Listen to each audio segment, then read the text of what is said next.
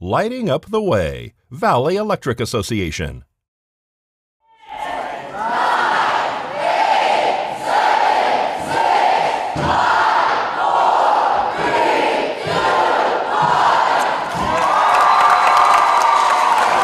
Oh, this is just a great day for Beatty. You know, first we had the electric highway, now we've got the all fiber community. The governor and Tom and uh, the rest of these folks have said it better than I could ever say it. We're so grateful and appreciative for the uh, opportunity to have them here and, and support this community. The kids are excited, the educators are excited, the medical community is excited. It's just it's just an amazing day for us. Well, I'm hoping it sets a big precedent, you know, and, and my understanding is Tonopah will be next in terms of having access to this fiber optic cable. But you know, that would be my dream: is that regardless of where you live in the state, no matter how remote, that you would have the same internet experience as somebody in one of the urban areas.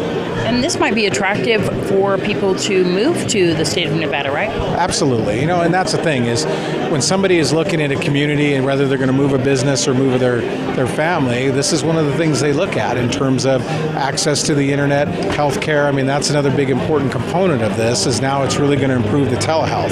And so, if you're going to move your family out here, you'll know your your children will have a quality education experience. If you have a small business, you'll be able to sell globally and know, just a great opportunity. It has a huge impact for our students to be able to reach out through the internet to places far beyond than just our, you know, our state, our country, and then into our world. Will this change the curriculum? Uh, Futuristically, it could. Um, you know, we're looking at it from a standpoint right now of un- uninterrupted time for te- for assessments, which we've had interruptions in the testing um, areas because of broken down internet, not fast enough. And now we should have the capability of speed so that students can can take a true test, an assessment without interruption, and that's a fair and equal playing field for them for anybody else across the state in the areas that have fiber communication. My goal, my hope is as we look at this in Nye County, that as as Valley goes out and reaches out, it will reach the rest of our remote rural schools and communities, which are tied together. This is an extremely important day for Valley Electric and for the community of Beatty. You know, it, it really runs parallel with our, our origins.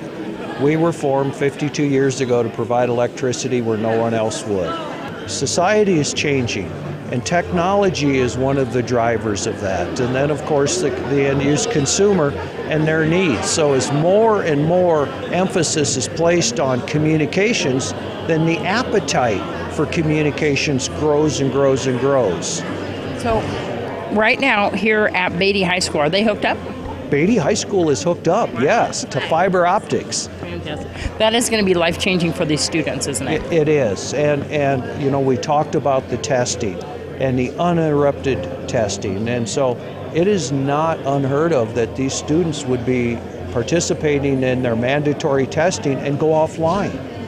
And now, with the redundancy that we have on the fiber optics within our system and them being hooked up, not only are they going to be able to do this uninterrupted, but they're going to be able to do it at speeds that are unmatched across the state.